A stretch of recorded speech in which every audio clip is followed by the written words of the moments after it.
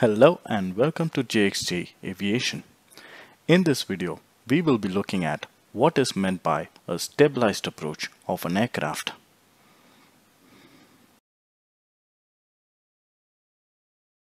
Before we look at what is meant by a stabilized approach, let's look at why a stabilized approach is required or the advantages of a stabilized approach.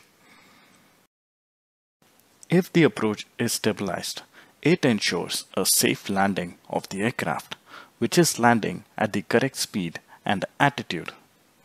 A stabilized approach also ensures the completion of the landing roll within the available runway length or the available landing distance. With a stabilized approach, pilots can avoid a loss of control of the aircraft during approach, which is more critical if there is any terrain surrounding the runway.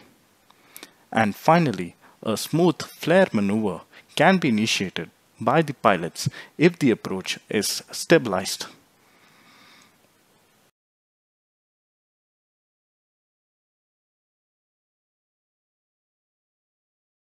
So what is meant by a stabilized approach?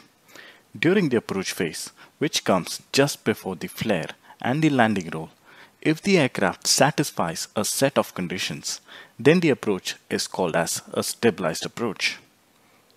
A few of these conditions are approach speed, rate of descent, landing configuration, aircraft attitude, and engine thrust setting.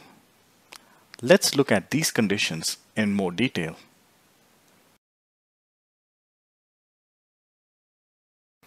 The approach speed.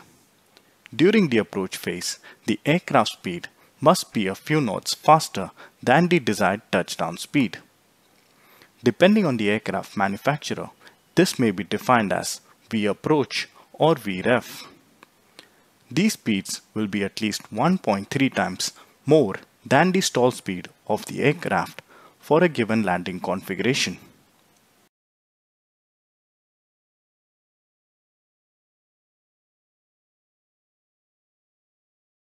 The rate of descent. This is regarding the approach angle and the rate at which the aircraft is descending. Usually, the approach angle would be 3 degrees and the rate of descent would be between 600 to 700 feet per minute. The maximum rate of descent for a stabilized approach will never exceed 1000 feet per minute in all cases.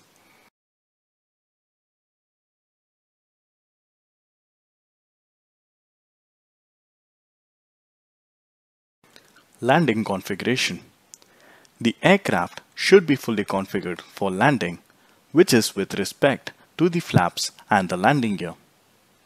In normal flying conditions, for a stabilized approach, the flaps should be extended fully and the landing gear should also be extended. It should also be ensured that they are locked in their respective positions.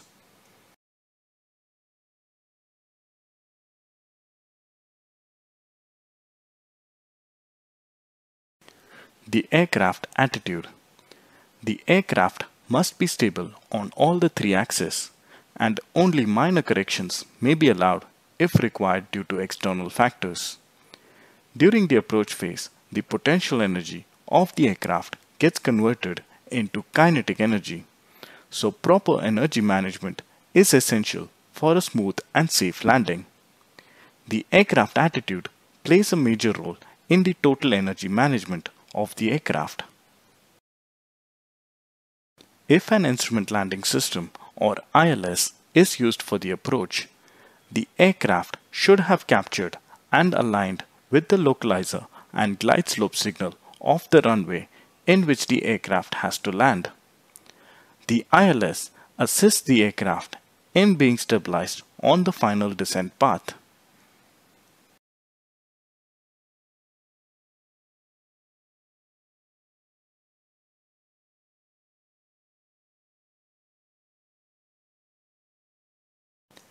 the engine thrust setting.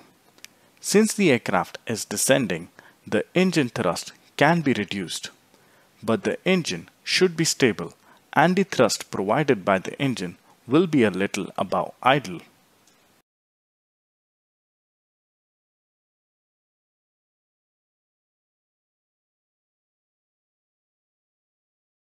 So, in general, for stabilized approaches, these conditions should be satisfied.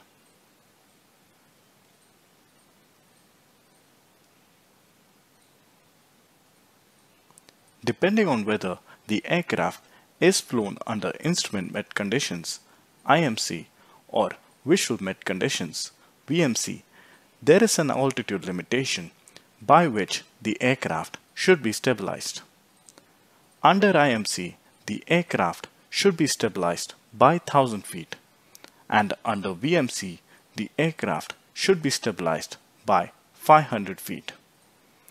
IMC and VMC are defined based on visibility, distance from cloud and ceiling.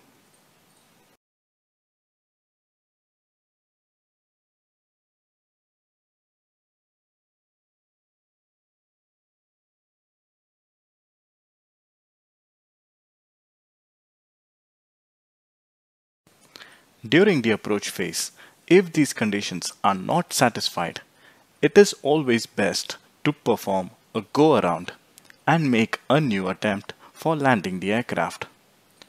There may be many reasons why the approach becomes an unstabilized approach. Let's take a look at few of the reasons.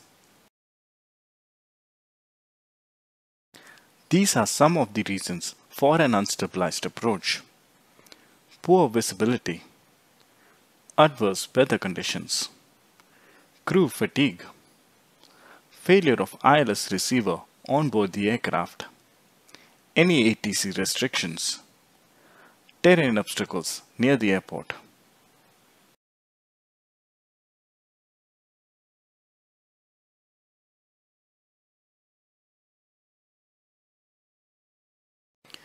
That's all for my video on the stabilized approach. Thank you for watching. If you liked it, do subscribe and you can continue watching some of my other videos as well.